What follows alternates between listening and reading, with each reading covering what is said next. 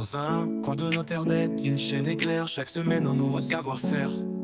Avec Blender 3D, elle nous enseigne modélisation, sculpte, texture, tout ça prend sans peine. La fabrique d'univers où les rêves prennent vie. Avec chaque tutoriel, elle nous éblouit.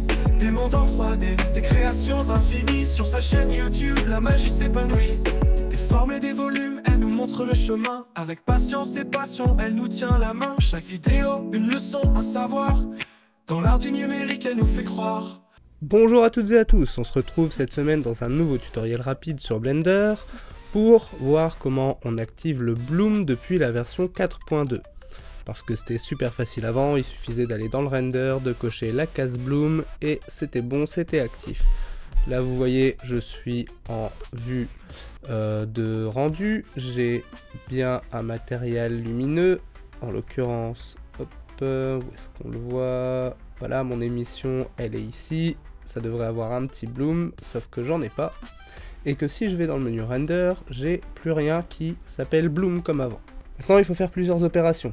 Ils ont rajouté le ray tracing ici, qui permet plein de choses, mais qui nous a fait sauter le bloom. Alors, on va activer le ray tracing, mais voilà, c'est pas suffisant. On a besoin d'une deuxième chose.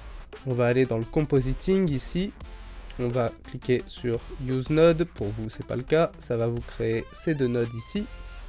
Et on va faire Shift A pour ajouter entre eux un nouveau node qui sera un node de type Glare.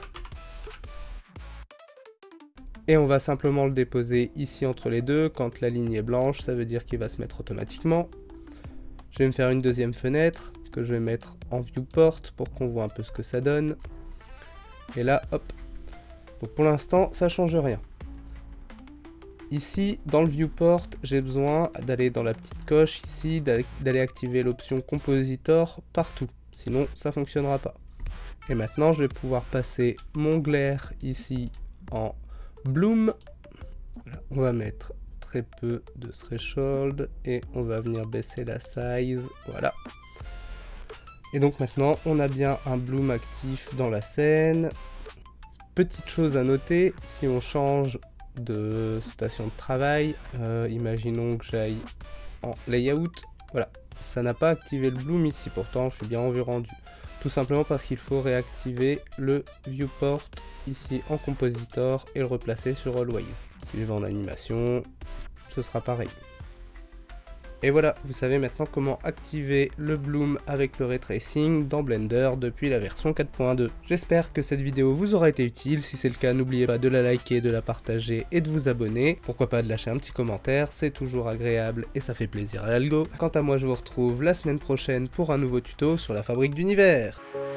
La fabrique d'univers où les rêves prennent vie. Avec chaque tutoriel, elle nous éblouit. Des mondes en 3D, des créations infinies. Sur sa chaîne YouTube, la magie s'épanouit